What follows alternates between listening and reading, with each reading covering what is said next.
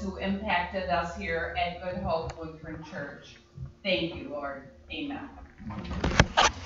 Okay, well, as you all know, Lou Ann has other places to be and things to do. I've already had a couple rehearsals this morning, so I am going to uh, do my part, and then I've asked uh, David Hartman here to be here to answer uh, questions because he is quite the authority. No, I don't. He denies it, but I he don't really have is. anybody else, I don't think.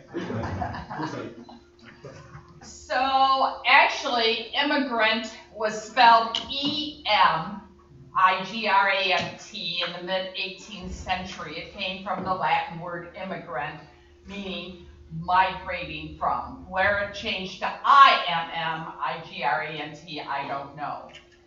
But I am here today to share with you the shipwreck story and history as I have researched it. I have taken it from a number of different sources and kind of compiled it into my version. I'm here today to share with you an immigration story of Hancock County. I was not born here. I'm not a descendant of the shipwreck survivors. I'm a part of the Arlington, Ohio community as I have been the church organist at Good Hope Lutheran since 1974.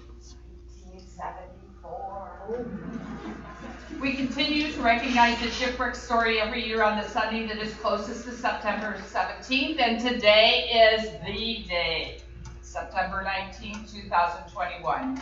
Good Hope, St. Paul, and Jenera Lutheran churches share this heritage, and I do- personally do not know what generation we are at this point, but definitely uh, past the immigrants' promise on the ship when they got to land to said they would remember this day to the third and fourth generations, which we are way past. The story is an exciting one full of danger, promise, intrigue, violence, hardships, adventure, and a people and their faith in our God. Thousands sought a new life in America with the promise of cheap land, lower taxes, and significantly no compulsory military service. In 1831, German daily living was very, very difficult. Many people were interested in immigrating to America where life was better, cheap land, low taxes, and plenty of wild game that anyone could hunt to feed their hungry families. The country of Germany enforced military service, drafting young men for a three-year military term when they were 16 years old. The people had suffered many years of famine, high taxes, and generally poor economic conditions. Now, our local story here in Hancock County focuses on Johann Adam Trock and Johann Peter Eris II. Their families had suffered in Germany over the years and had heard about America. Johann Adam Trock, living from 1785 to 1877, was a God-fearing man with 10 years of military service in the Napoleonic Wars. He urged his friends and relatives in Rattlebach and neighboring villages like Odenwald, and Hestonstedt area to embark with him to the United States. Very few in his financial standing cared to come, but many in meager circumstances yearned for the opportunity. And Trock himself paid for 18 adults to come. The summer of 1830 was chosen for the voyage, but twice it had to be postponed due to unavoidable circumstances. The two men eventually gathered a group of friends and relatives, and together they made plans to come to America. In the middle of May 1831, a group of about 150 immigrants from the Odenwald region of Germany started on that 400 mile trip through Darmstadt and Kassel to Bremen, where they finally settled for America in late July. They packed tools, clothing, dishes, bedding, furniture, food, and some heirlooms to bring to America. Two boats were loading in Bremen. One was brand new. One one was old. Naturally, the people rushed to get on the, what do you think, kids? Old boat or new boat? New boat, new boat. And it was soon filled up. The gangplank was lifted and the rest had to go on the old boat.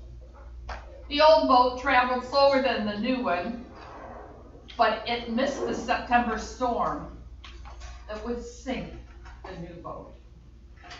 The old boat landed as planned. The families on board both ships planned to live near Baltimore, Maryland. The new boat was called the Famous Dove. It was 118 feet long, 28 feet wide, 20 feet high. It had two masts and 24 sails.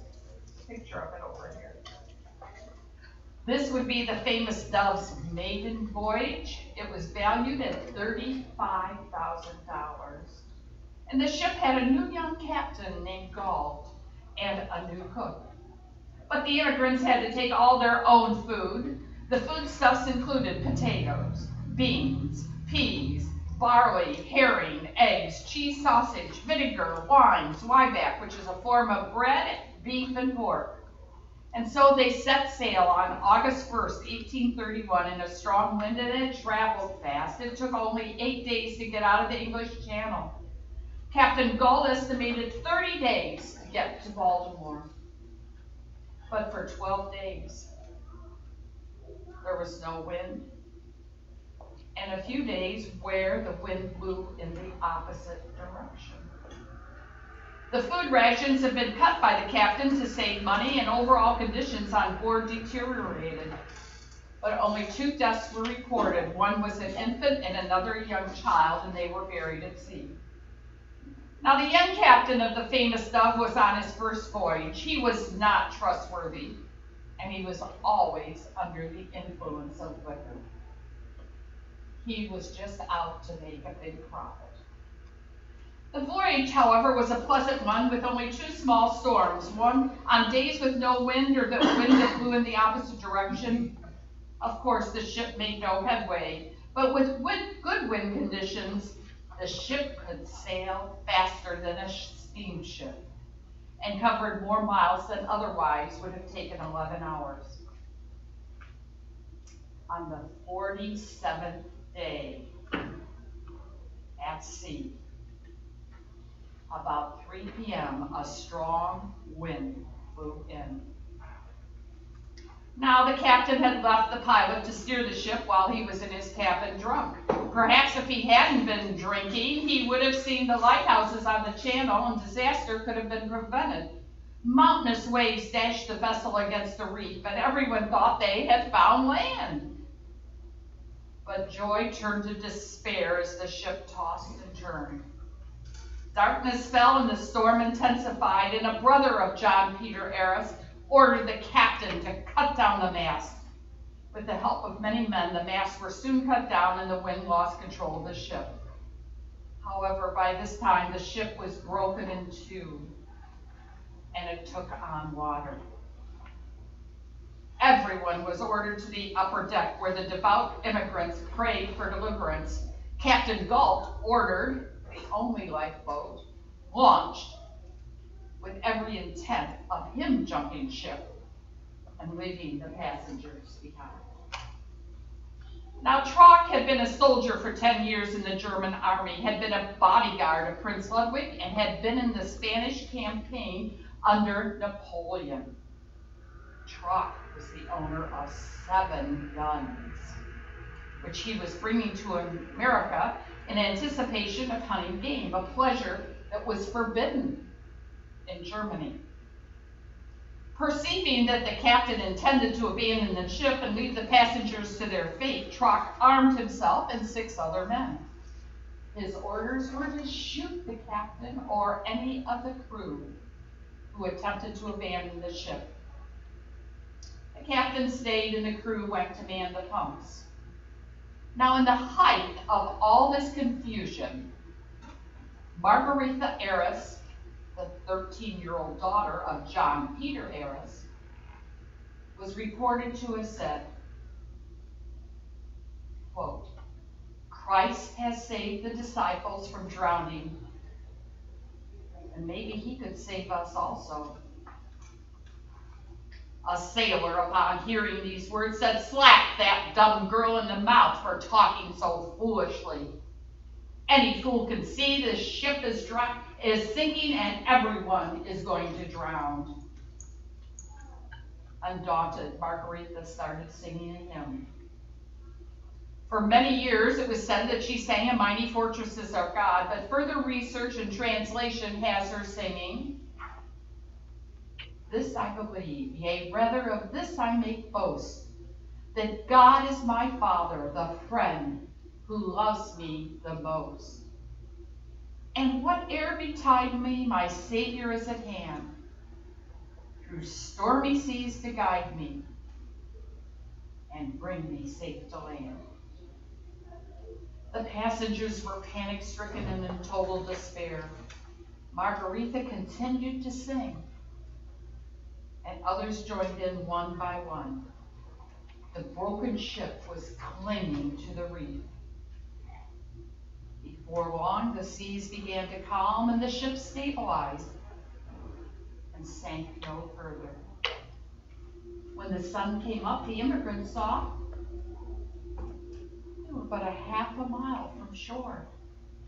The reef sandbar was located about 16 miles south of Cape Henry, Virginia, which is east of Norfolk, Virginia. The crew was able to attach cables from the boat to the trees at the shore, which allowed them to guide the lifeboat ashore. The women and children landed first, followed by the men. The take charge Johann Adam Trott was the last one to leave the ship. On shore, the immigrants were given assistance by a gathering of black people, probably the first blacks the people had ever seen. Upon reaching the shore, they knelt and poured out their hearts in gratitude to the Savior who had stilled the storm. They made a solemn vow that the 17th day of September shall be kept as a holy day, shipwreck Thanksgiving festival by them and their descendants, even unto the third and fourth generations. As is the practice at Good Hope, St. Paul's and Trinity Jenera, today we'll be having our annual observance of the shipwreck, and it will be the 190th observance. The immigrants were housed in Cape Henry until September 21st. Then they boarded another ship with the belongings that could be salvaged and headed to Norfolk, Virginia. On September 23rd, they left on a steamship for Baltimore, Maryland. From Baltimore, most of the immigrants eventually got to Ohio. And of those who came, mostly settled in Hancock County. The first 12 families arrived near the present site of Jenera in 1834. Eleven more families came and others followed. Some descendants also settled in Crawford, Medina, Defiance, Wyandot, Henry, and other Ohio counties, and also in other states. By 1843, there were 36 families from the Hesse-Darmstadt area of Germany. Some farms around Jenera are still owned by the descendants of the shipwrecked passengers. The deeds they hold bear the signature of President Andrew Jackson. The population of Van Buren Township in 1840 was 432. In 1850, it was up to 536. The people had no pastor, but they gathered in each other's homes for worship services, and the first Lutheran pastor visited the settlement in 1836, but only remained a short time. In 1843, two men were delegated to go to Columbus to get a pastor. Their journey was not in vain. The Evangelical Lutheran Mission Society sent J.G. Berger, a Lutheran minister originally from Bavaria, to the Jenera area. The first church in which the immigrants worshipped was located in Van Buren Township at the intersection of Township Roads 32 and 62. From this church, St. Paul Evangelical Lutheran Church, located one mile east of the original church, and Trinity Evangelical Lutheran Church originated. In 1891, the 50th anniversary was commemorated at St. Paul's Church with 10 of the shipwreck survivors in attendance. The sermon text was taken from Psalm 50, 15, which has been the same text used for the first service in 1836. Psalm 50, verse 15. And call upon me in the day of trouble. I will deliver you, and you will honor me. Now, when the settlers first arrived, the region was a vast wilderness. The goal was to clear land for farming and rid it of bears and wolves. Indians still camped in the area at the time.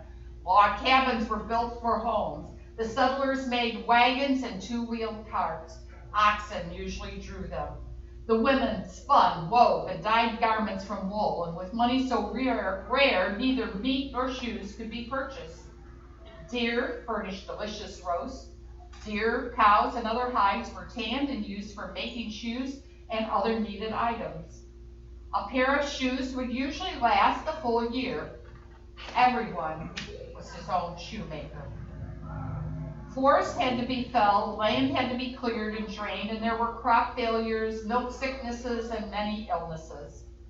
The nearest market for wheat and sheep was first at Perrysburg, then Tiffin, and then Carey. Many of the early settlers lived according to the biblical decree Seek ye first the kingdom of God, and all these things shall be added unto you. That's from Matthew 6, verse 33. As is our annual tradition, Good Hope and St. Paul's Arlington and Trinity Jenera still celebrate Shipwreck Sunday on the Sunday closest to September 17th. Often a descendant will read the story as part of the remembrance. On September 18th, 2011, we had a large 180th observance shipwreck service outdoors in front of the Arlington School. Some interesting facts. Our sheriff, Michael Helfman, is a descendant of Johann Adam Traub. One family was originally named Weiner, W-I-N-E-R, but in America it became Wiener, W-E-I-N-E-R. And because of the high cost of meat, they combined grain meal with their meat that they sold stuffed into casings. The major city near the Weiner home was Frankfurt. Thus, we have our modern day Wieners and Frankfurters. I would like to mention the Gospel Bible.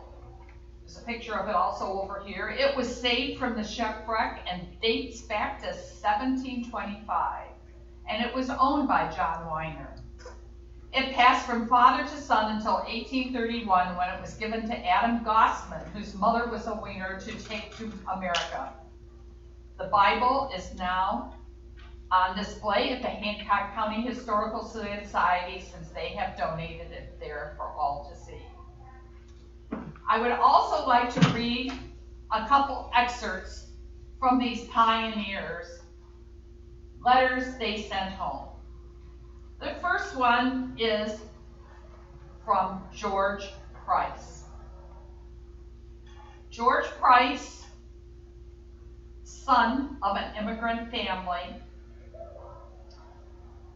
in 1908 was nearly 81 years old and seriously ill, but he gave an interview to the Findlay Daily Courier.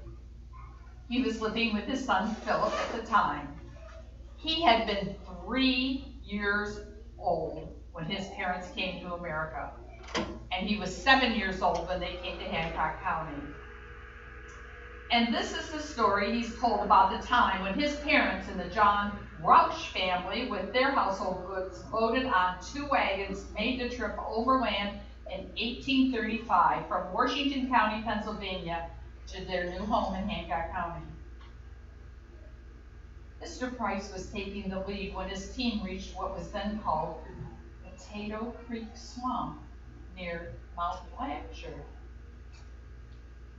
Here, one horse sank to his sides in the mud and could not move. Darkness was already, already settling over the unhappy immigrants, and surrounded as they were by a howling wilderness, the women broke down and cried in despair.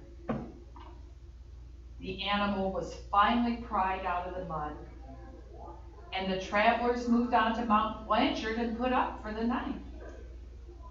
The next day, they were able to get seven miles farther west and spent the night at the tavern on Eagle Creek, kept by Mr. John Dillon.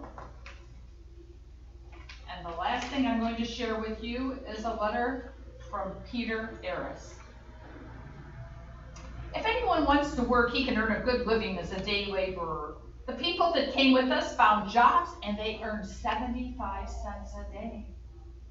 They are building a railroad track from Baltimore to Ohio. An ordinary man can live just as well as a rich man.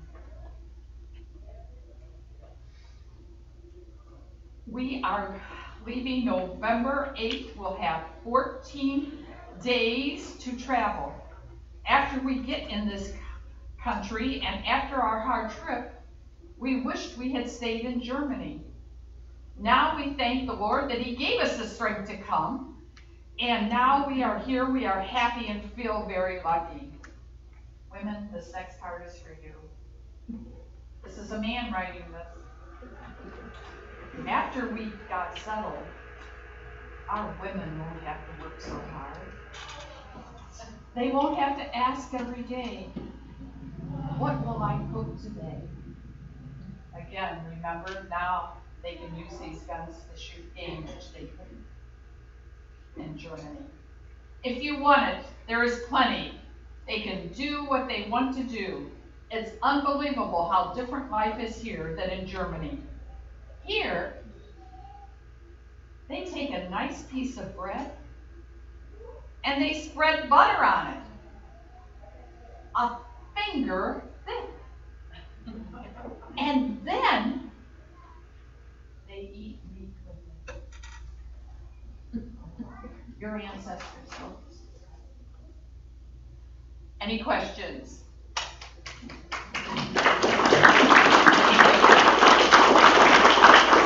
Any questions from my part?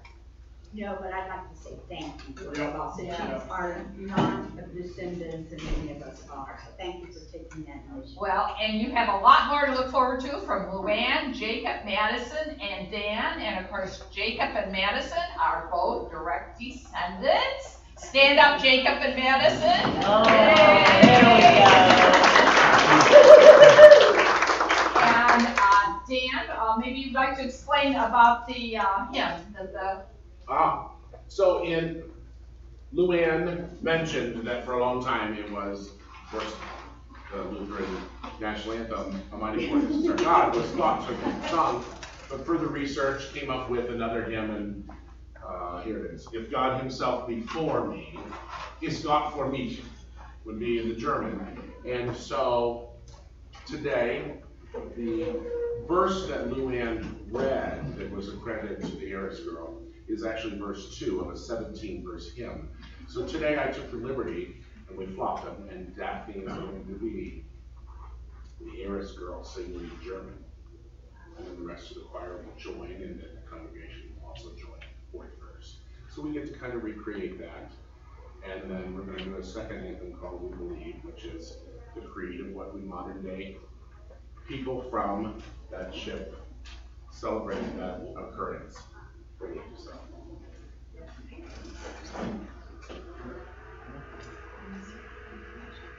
we have our expert here, and he can maybe come up and tell you a little bit about, you see the people that are here. Well, I don't know anyone you know. You've done a very good job Thank you. explaining everything. But you did mention, I can, my family, my, this is my mother's side, of course. You mentioned the Price family and the Roush family traveling together to worship Pennsylvania, which is true. But that's where my connection is. The Roush family had a, had a boy, the Price family had a girl. When they got to worship Pennsylvania, they had no money, so they had to stop and work to come to Ohio. The Price girl hired into a rich family in Washington, Pennsylvania, a Wilson family. They had a lot of boys and they were real rich landowners. And she worked as a maid there for a while in that Wilson family. Well, if you know what happened, the same thing happened today. She got pregnant, one of the Wilson boys. And when they found that out, the Wilsons, get out of here, we don't share. You're just a small Pleasant girl. So they left. On the way from here, from Fort Pennsylvania to here, the Price girl and the Roush boy got married. When they come to Ohio, it's a generic area, she gave birth to a little boy named George Wilson.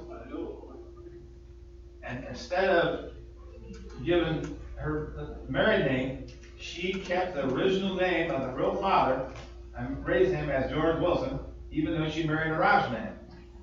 And that George Wilson become my mother's great great grandfather, and I have pictures of him at home, the whole family.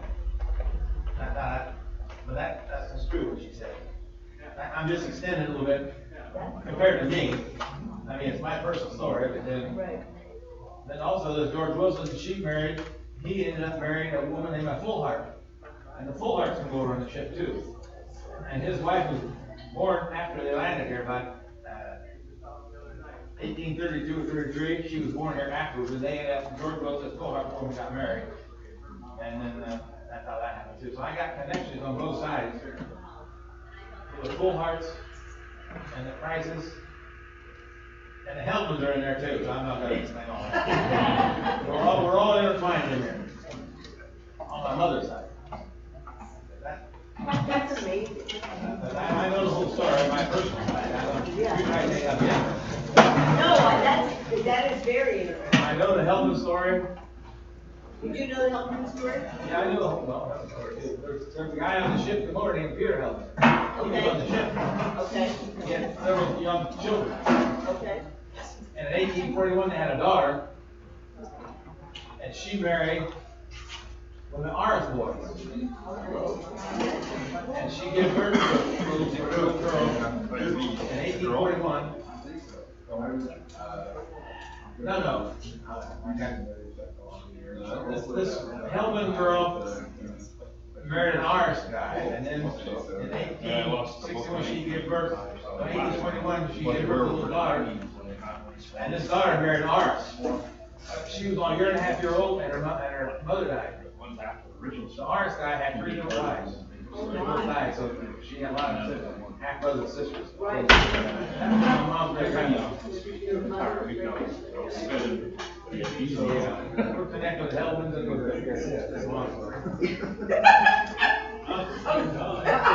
Ron can't be here, But I think, yeah. yeah, Ron can't be here this morning, but he figured out after talking, uh, to different people here at the church, that he's probably sixth generation.